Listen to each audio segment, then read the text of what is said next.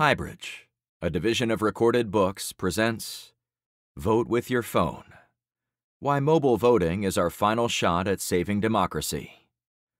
By Bradley Tusk. Read by Kyle Tait. Foreword. After the shooting at my high school in Parkland, Florida, I was fucking enraged. I had learned in debate about gun policy and had to argue on both sides of the issue. I know that the reason the shooting happened was because of our corrupt system of government that legalized bribery via campaign donations by groups like the National Rifle Association, NRA. I was mad after the shooting because I felt guilty knowing that I could have been advocating long before for the policies I know could have prevented it, and also the epic failure of our leaders to do anything about gun violence. I remember thinking in middle school when I saw the news about Sandy Hook that something had to change. But it didn't. Now, in Florida, many thought we couldn't change anything because we were teenagers, and Florida was a Republican state. But we didn't listen and still tried. From that day until now, I know the number one thing we could do to prevent gun violence is make our democracy as accessible as possible because the vast majority of the American people, including Floridians, support stronger gun laws. But a loud and immoral minority that is the gun lobby has subverted the people's will. What got us through it was an outpouring of love and support from our families and our community, and the support of millions upon millions of people from across the country and the world. Our pain connected with people across the world and a new chapter of the movement to end gun violence was born from that connection. My classmates and I became the leaders of that new chapter. In the whirlwind of activism that followed the shooting, nearly 2 million people marched with us in Washington, D.C. and around the country. How did a group of high school activists, without connections, experience, money, or power, become the leaders of a movement that would shake the halls of Congress. What made the difference for us? Our phones. The school shooting generation was just barely old enough to speak out, but Gen Z is the most connected generation in history. We grew up with phones that connected us to each other and to the older generations directly and personally. A new movement was born in Facebook groups and Twitter conversations, on Instagram and TikTok. Maybe we shouldn't have been surprised. After all, people of all ages have been talking, texting, emailing, banking, grocery shopping, dating, and more on their phones for years. It's not just Gen Z. Practically everyone trusts their phones to connect them safely and securely to the world. It's time for the digital revolution to continue, to level the playing field and expand our democracy. Hundreds of millions of people communicate, organize, and conduct financial transactions on their phones. Now, it's time to have voting on our phones as an option. Mobile voting could be a catalyst for creating a democracy where voting is accessible and inclusive, and keeping up with the technology of our generation. In the 2020 election, about 80 million eligible voters didn't cast their vote. This was an election with the highest turnout since 1900, yet millions remained unheard. Imagine a democracy where the voting booth is at the fingertips of every eligible voter. A democracy where everyday Americans are unburdened by the limitations of physical polling stations and long lines. Right now, voting just isn't accessible.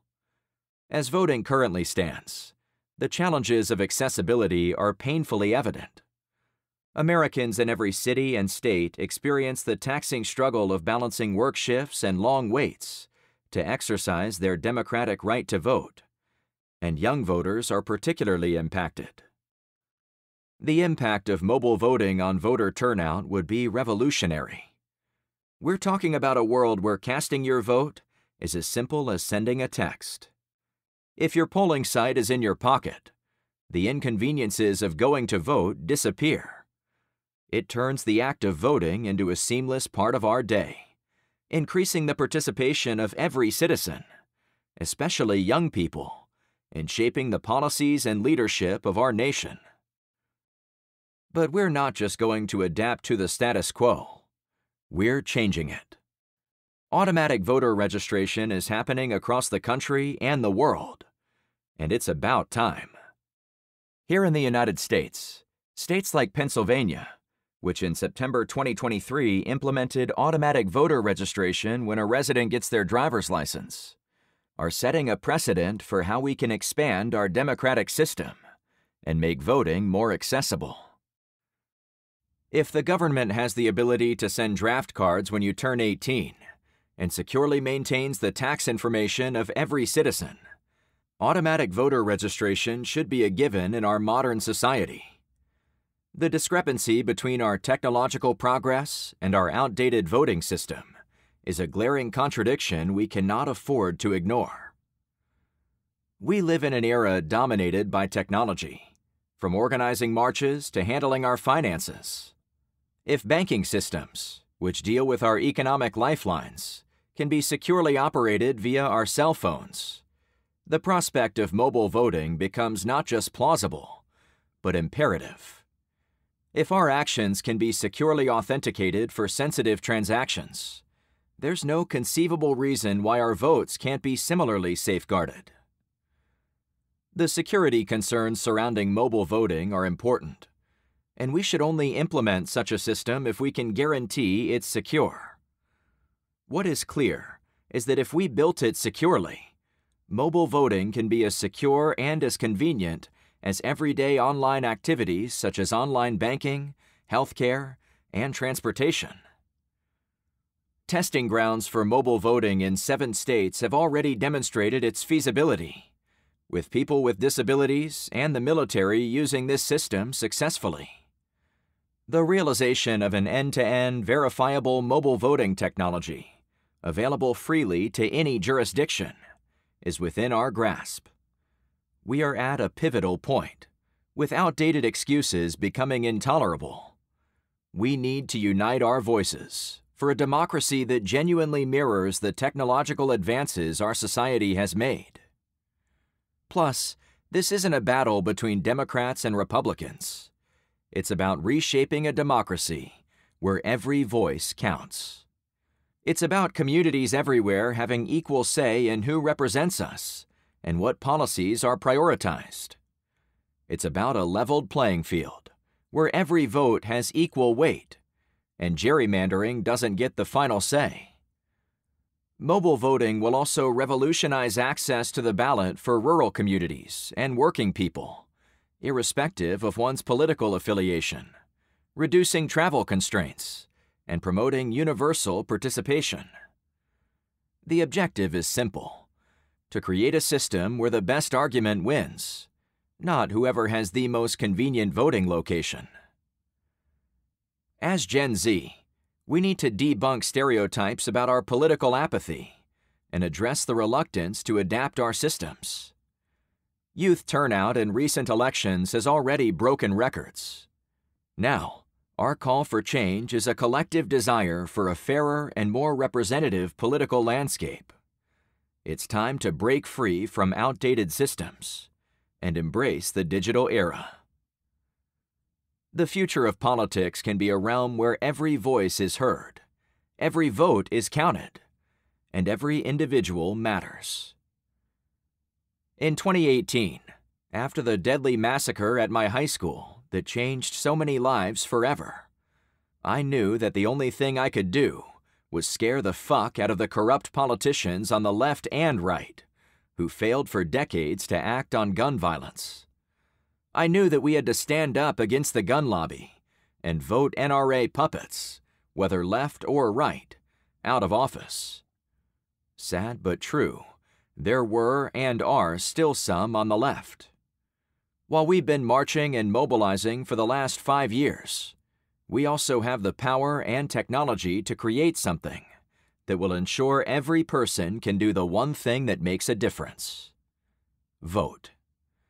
I know from my experience that the only good politician is a scared one.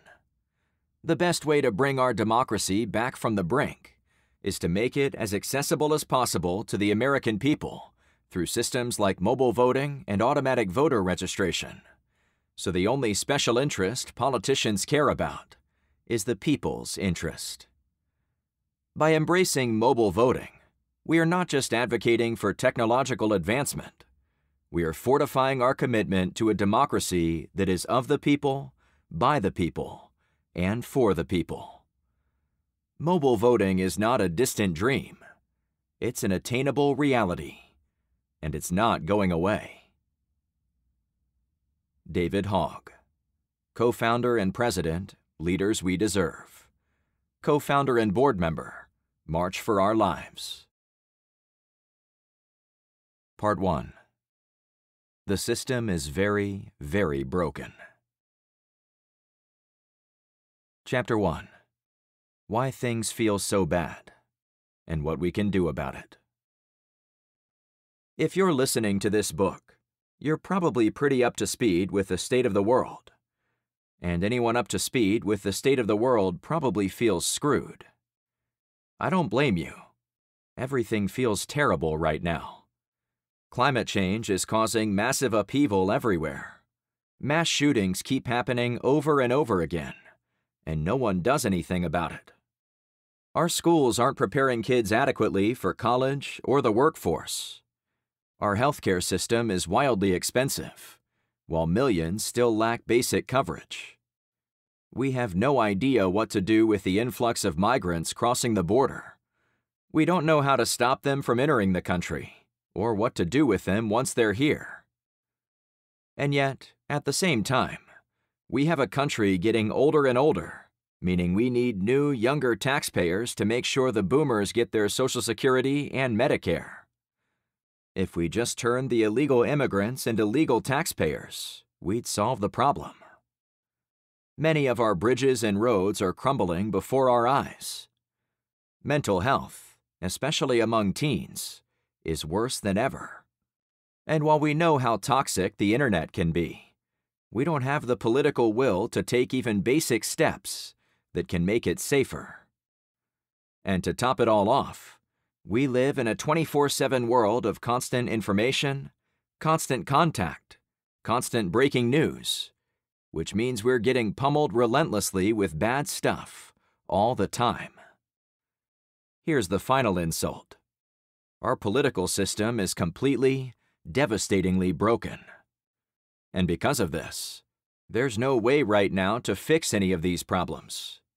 Occasionally, one political party can muster enough votes to pass some kind of meaningful legislation.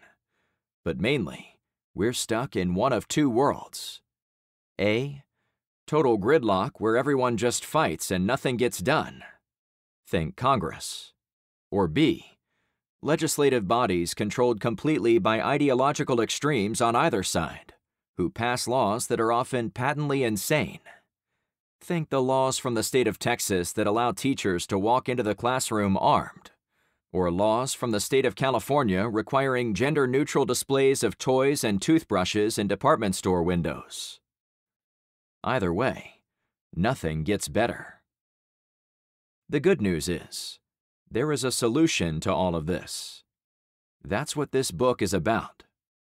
The reason I'm writing it is to persuade you that there is one way we can fix our democracy mobile voting. Typically, young people have organized around radical causes civil rights, women's rights, the anti war movement. But today, almost incredibly, the most radical possibility is finding common ground. The next great reform will come from pushing the country into the middle and forcing our government to become competent and functional again. Virtually every American at this point has a smartphone in their pocket. It has become a utility, not a luxury. If we bring voting to where the people are, to where technology already is, we can exponentially increase voter turnout. Politicians make choices solely based on what it will take to win the next election if only a small, extreme group of voters participate. Their policies are extreme as a result, and nothing gets done. If a larger group of voters participates, it will reflect the mainstream, which means that to keep their jobs, politicians need to do what most people want to see happen cooperation, progress, and results. We can dramatically increase participation by letting people vote securely on their phones. That would change all of the inputs and all of the incentives that govern how our politicians act and what they support. And that's what leads to better policies, better laws, and a better future. So far, through our work at the Mobile Voting Project, we've been able to test the idea of voting on your phone in seven different states Colorado, Oregon, South Carolina, Utah, Virginia, Washington, and West Virginia. Working with relatively small but key groups to prove that the concept of being able to vote on your phone can work both securely and efficiently. Mobile voting is exactly what it sounds like opening a secure app on your phone and choosing your candidates, just like you use your phone to transfer money, pay bills, talk to your doctor, arrange your love life, and everything else. If the banks can protect our money online, we can definitely protect people's votes during the few times a year they're cast. People with disabilities, as well as those deployed in the military, have already voted on their phones in real elections without any issues whatsoever. And the team at the Mobile Voting Project has taken everything we've learned from those elections and put it toward the development of new mobile voting technology that will be available for free to any jurisdiction that wishes to use it.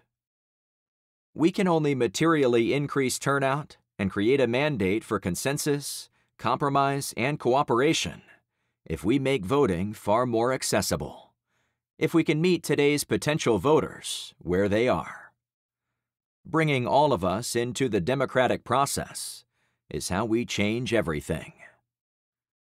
Make no mistake about it, those in power are going to use every tool they have to block us.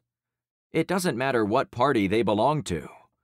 There is one cause and one cause only that unites all elected officials staying in office. Almost everybody holding an elective office right now got there by working within the existing system. What in the world would make them take a chance on a new system? Only the utter determination and passion of people like you, who care enough to listen to a book like this. I spent the first 15 years of my career working directly in government and politics at the local, state, and federal levels both in the executive branch and the legislature. I went to law school, so I have a decent grasp of how the judiciary functions. I've run political campaigns. I have seen how the system works and how the sausage is made from every angle. But it wasn't until I started working in tech that I saw the power of mobile voting. Between 2011 and 2015, I helped run campaigns to legalize Uber and ride sharing across the United States. I don't know how much you know or care about how the taxi industry works, but let me tell you this. Before Uber arrived on the scene, this industry was as entrenched, corrupt, and as stagnant as it gets. The people who ran it liked it that way. They didn't care about customers, or drivers, or anybody but themselves and the last thing they wanted was an upstart like Uber being permitted to compete with them. They had countless elected officials in their pocket, and they fought us at every pass. But we had one huge advantage, and it wasn't money or political favor. It was that when people used Uber, they really liked it. In fact, they vastly preferred it to the old taxi system. Our challenge, as Uber's political team, was how to channel this goodwill into a political force, to turn our customers into activists. So we took the one thing they all had in common, the Uber app on their phones, and turned it into an open line to their elected officials. With the press of a button, riders could make their views count. For example, In a New York City fight where Mayor Bill de Blasio tried to effectively shut down Uber by banning any new cars or drivers, our customers were presented with the usual array of choices Uber X, Uber Black, Uber XL, but also a new option called de Blasio. This de Blasio mode informed riders that by capping the number of for hire vehicles in the city, the proposed new law would mean a 25 minute wait time for rides and then immediately connected them to the mayor and their city council member to oppose the bill. Both in New York City and nationwide, millions of people ultimately used the app to warn their elected officials not to take away Uber. It worked. The ease and simplicity of weighing in via the app changed the underlying politics of the issue and put Ubers on the streets of major American cities virtually overnight even as one of the architects of the plan. I could hardly believe how well it worked. It was an epiphany. I remember sitting in my office thinking, I bet all these people who are helping us win these campaigns never vote in most elections, especially most primaries. They couldn't tell you who their state senator is. They didn't vote in the primary for their representative in Congress, or the city council, or the county legislature. Why? Not because they don't care. Not because they're too lazy or apathetic to do anything. Clearly, based on the support they'd shown for Uber, they were willing to act on something when it mattered to them. It's just that the hassle of voting has eclipsed the tangible benefits, especially in primaries and races for lower offices. Think about what voting entails. You have to get up early or skip your lunch hour to venture out to what is probably an unfamiliar location, where there might be a line or some other delay or confusion. The technology itself is typically bulky and outmoded, unlike anything we use for any other activity. Voting takes you to a land forgotten by time, an experience that engenders little confidence or enthusiasm for our democracy. Given how actively we discourage people from voting, we really shouldn't complain about low turnout. It's only logical. Beyond participation being logistically difficult, voters often feel like their vote won't really change anything. They feel like the election is determined solely by powerful special interests, and they feel like the system is so rigged and so corrupt that nothing can help. What we're left with at the end of the day is a democracy dominated by the handful of registered voters who do turn out for primary elections. For example, in the 2022 congressional primaries, according to the Bipartisan Policy Center, Republican turnout was 10.6%. Democratic turnout was even worse, at 9.3%. This small minority of primary voters pick the nominees that the rest of us are then forced to choose between in the general elections. And these primary voters are not a good representation of the electorate. They skew to the hard left or the hard right. They're dominated by special interests, and the candidates they pick tend to reflect those characteristics. The Uber experience taught me that people are more than willing to engage if we give them tools that fit within the context of their lives. People manage their money on their phones. They manage their health care. They manage their families and their love lives. We can do pretty much anything on our phones except vote. Why? Because the people currently in power don't want us to. Anything that threatens their hold on elected office must immediately be stopped. It's not that our politicians are uniquely bad.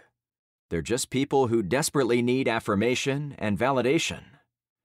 That's typically who runs for office. That's just human nature. It was likely the same thing in the Roman Senate, the Greek Senate, and everything before and after. The difference is that the way we elect people in the United States encourages the worst personality traits of our elected officials. We're cursed with a few unique causes that make U.S. politics especially bad. First, the tremendous amount of money in politics leads to endless negative campaigning, because negative ads are effective. Second, We have a winner take all electoral system, where, unlike parliamentary democracies, there is very little room for different viewpoints or dissent from the party line.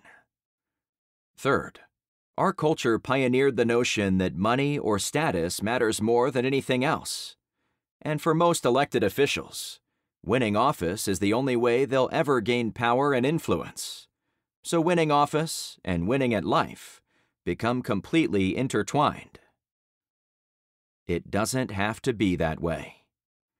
Human nature may be immutable, at least absent millions of years for evolution. But our laws are not the Ten Commandments.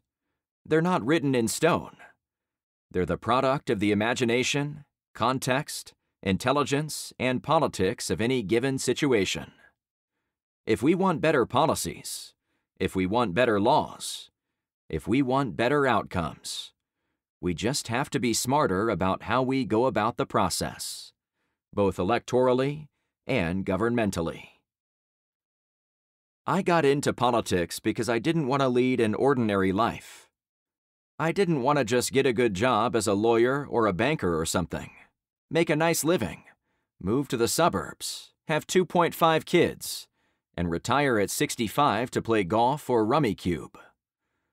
I don't believe in reincarnation or an afterlife. To me, what we have right now is all we get. I wanted my existence to be more than just that of another person who comes and goes, without making an impact. That felt hollow, insufficient. And to me, when I was a young person starting out, working in government and in politics looked like the best way to have an impact. So I did. While still in college, I worked for Ed Rendell, the mayor of Philadelphia, spending most of my days at City Hall rather than in class, because it was much more fun and because it felt useful.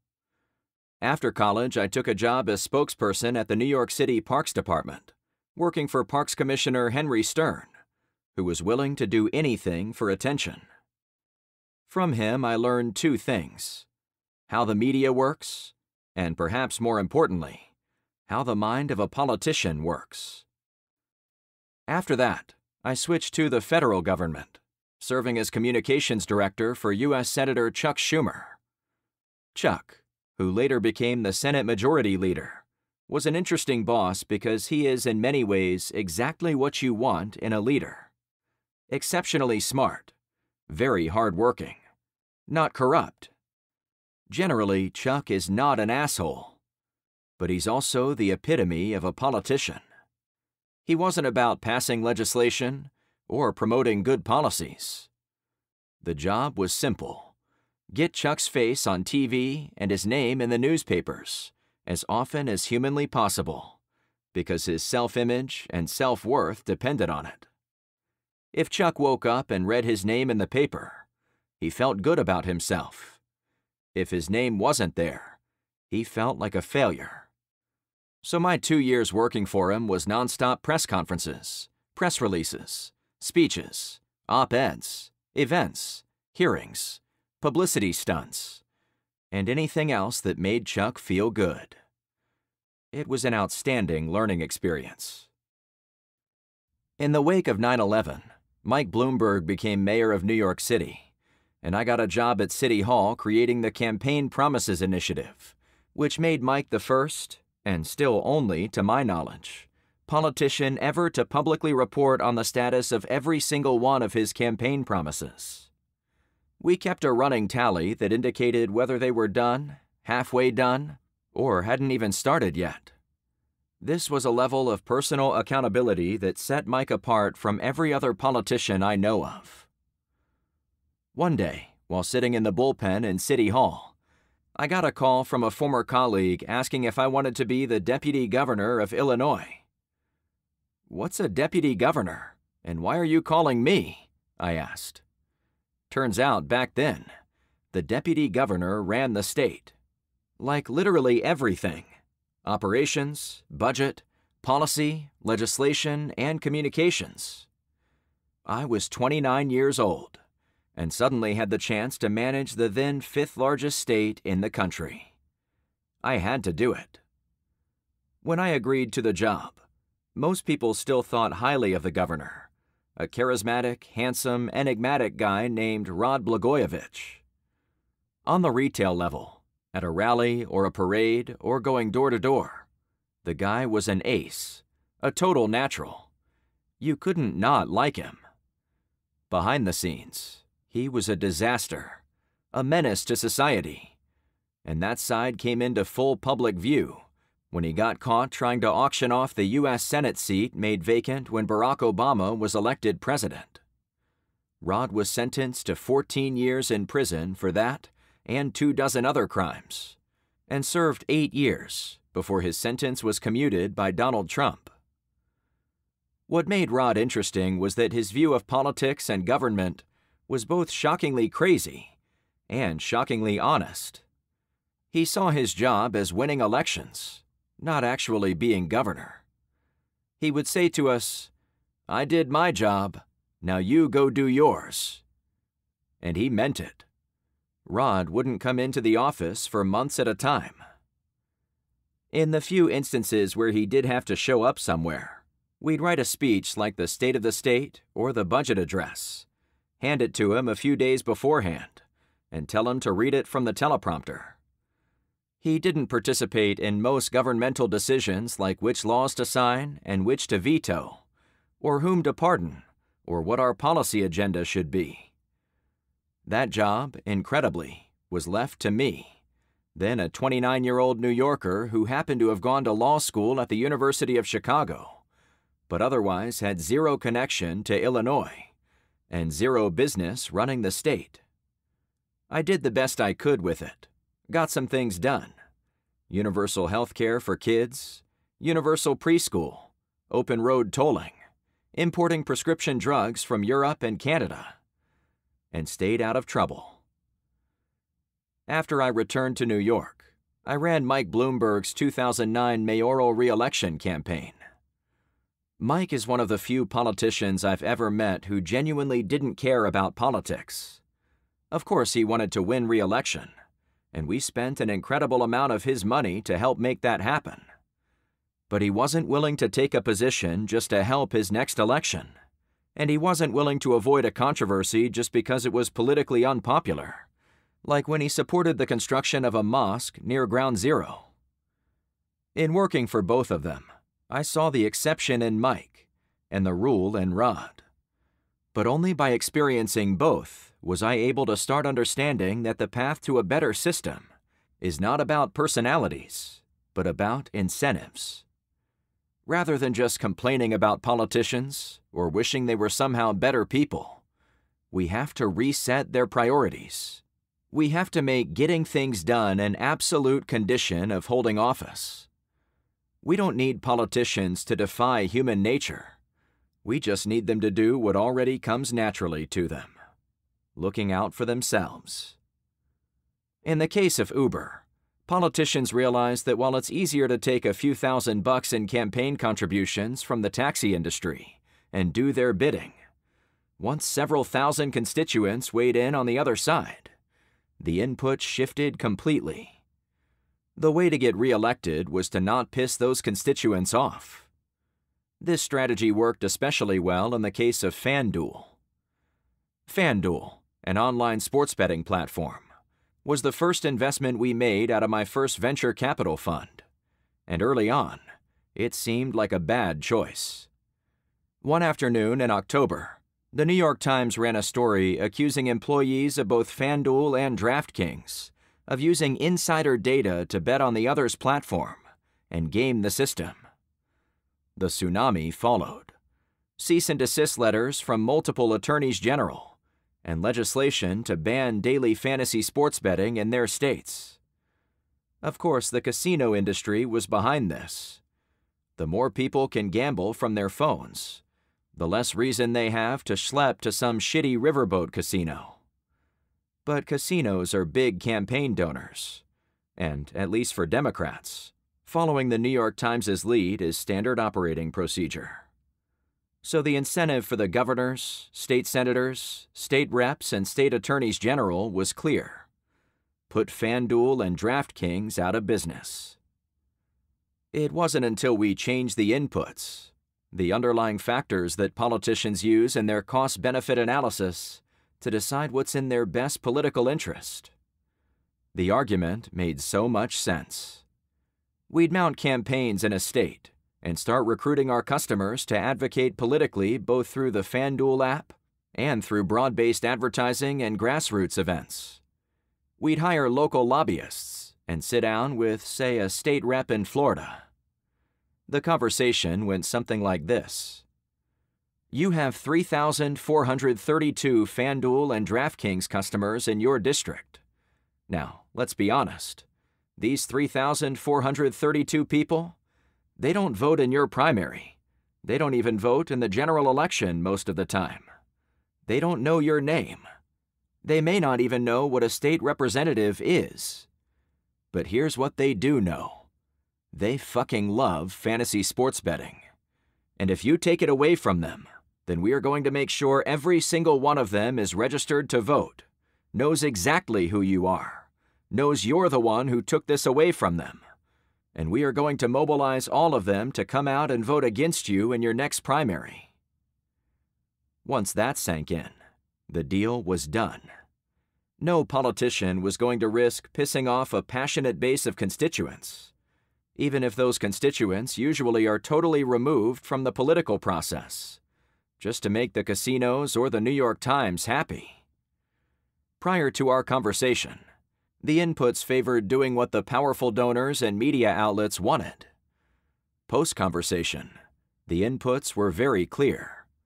Stay the fuck out of this.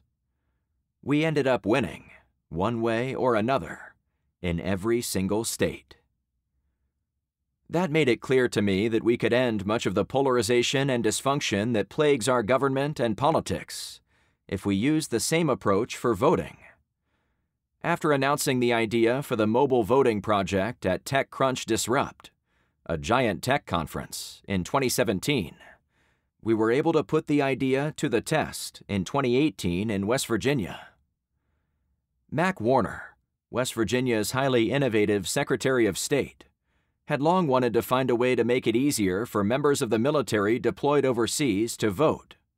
After all, they were risking their lives to protect our right to vote, and yet the system of getting ballots to foreign countries and then back in time to the election office was extremely flawed.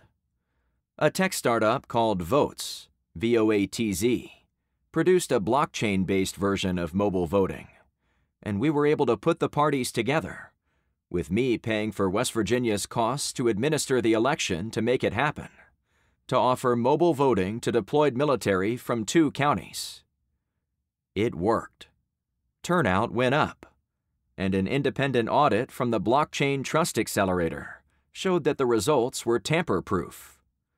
That validation led to mobile voting pilots in seven different states across 21 elections over the next few years. Depending on what each election official preferred, either a cloud based or blockchain based system was used to make voting by phone available to both deployed military and people with disabilities. If you think voting is a pain, imagine being blind in dealing with voting. The new approach drew praise and criticism. Advocates from organizations like the National Federation of the Blind and the Drum Major Institute, run by Martin Luther King III and Arndrea Waters King, supported making voting easier and more accessible. Leaders from both groups have essays later in this book. Cybersecurity experts from different universities worried that the system was too easy to hack and vociferously opposed it. To address their concerns, we decided to fund development of new mobile voting technology. There's a whole chapter in this book going into granular detail on exactly what we are building and how we're building it. But to summarize, we spent three years and $10 million to build the first and only end to end encrypted and end to end verifiable voting technology. In 2025, we will launch that technology and make it free and open source for anyone any jurisdiction, anywhere, to use. I believe that with VoteHub, our mobile voting technology, we have created the perfect vehicle to meaningfully increase voter turnout especially in primaries. And that gives us the chance, finally, to change the political inputs that decide the policy outputs that impact us all every single day. Because until we can change the inputs, everything you worry about will probably end very badly. We won't limit the increase in warming to 1.5 degrees Celsius, which means we won't stop the ice caps from melting, won't stop heat waves from killing millions, won't stop the water tables from drying up, won't stop Category 5 hurricanes from destroying communities, and 10 other equally bad scenarios. We won't stop mass shootings in schools, Walmarts, churches, or anywhere else. We won't figure out an immigration policy that actually benefits our economy. Healthcare will remain way too expensive. Our schools will continue to fail to prepare students for the real world. Social media will remain unregulated and dangerously toxic. Feel free to insert any other catastrophe that's on your mind. And given the continuous toxic feedback loop we've created, without fundamental reform, our problems can only get worse. Think about it. A politician is rewarded for ludicrous behavior, for saying the most vile things possible about their political enemies. The crazier the allegation, my favorite is Marjorie Taylor Greene's Jewish space lasers claim the more attention they get, the more likes, the more posts, the more views on YouTube or TikTok. And that's just on social media. Politicians also get to see their face all over Fox News or MSN. We hope you enjoyed this preview. To continue listening to this audiobook on Google Play Books, use the link in the video description.